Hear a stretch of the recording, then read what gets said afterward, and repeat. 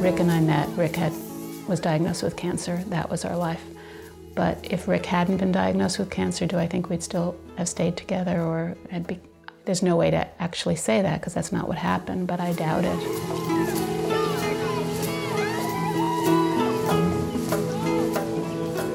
And I went upstairs and uh, I felt her pulse, which I couldn't find.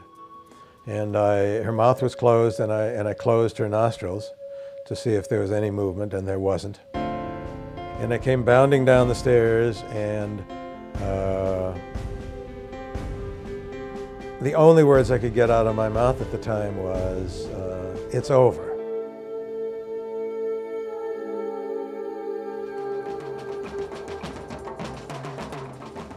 And what a surreal moment.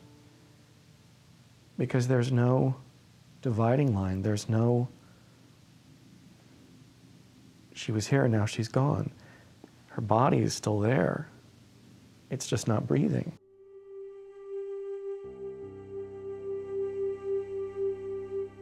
One afternoon, we were just hanging out at his kitchen table, and he said, When the doctors tell you that I'm going, I want you to get rid of my journals.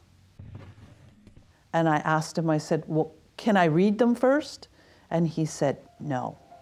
I said, Oh, man.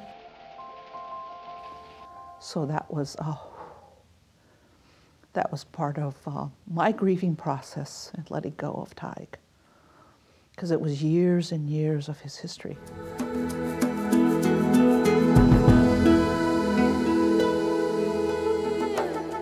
I didn't know this, but I, it's logical. When you cremate someone, you can't take their ashes right away because they're hot. And I went back the next day by myself to pick the ashes up.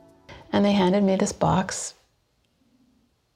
And uh, it said temporary container on the outside of the box.